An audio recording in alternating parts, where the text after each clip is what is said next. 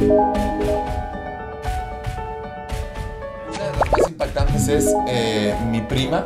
eh, de chiquita tenía una enfermedad en la garganta, no me acuerdo exactamente qué era lo que tenía porque yo también estaba muy chiquito, ella es dos años mayor, tres que yo.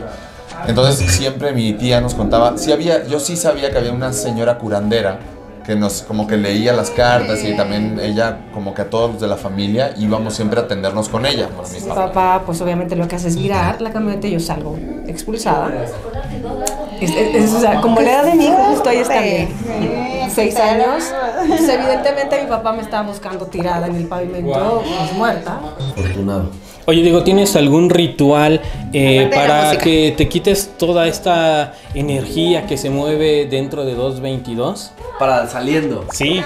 Eso, eso, mero. ¿Verdad? Oh, ¿Cómo Yo no sabía dónde me había metido, pero dije, un ángel. Ah, muchas gracias. Se nos cayó del cielo un ángel. en un teatro, salgo y me llevan a un lugar y me bajo del auto y la chica que venía conmigo cuando se baja del auto hace así. Y yo, ¿qué pasa? ¿Qué pasa? ¿Qué pasa? ¿Qué traigo?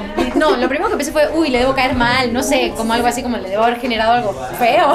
Y llego a mi casa, me escribe su hermana, me dice, no te asustes, pero mi hermana ve gente y tenés a un señor que te... Sí, sí. A mí, a mí una vez me pasó, esto sí, sí se los conté, ¿no? ¿Cuál? Que a la mitad de la obra se empezó a mover. Hay, un, hay, una, hay una luz que va colgada, pero no hay, no hay manera de tener acceso a esa luz porque es un hilo. Y a la mitad de la Pero le preguntó a mi abuelita y dijo que era un corrido de la revolución y lo que más le llamó la atención fue la forma en la que estábamos cantando.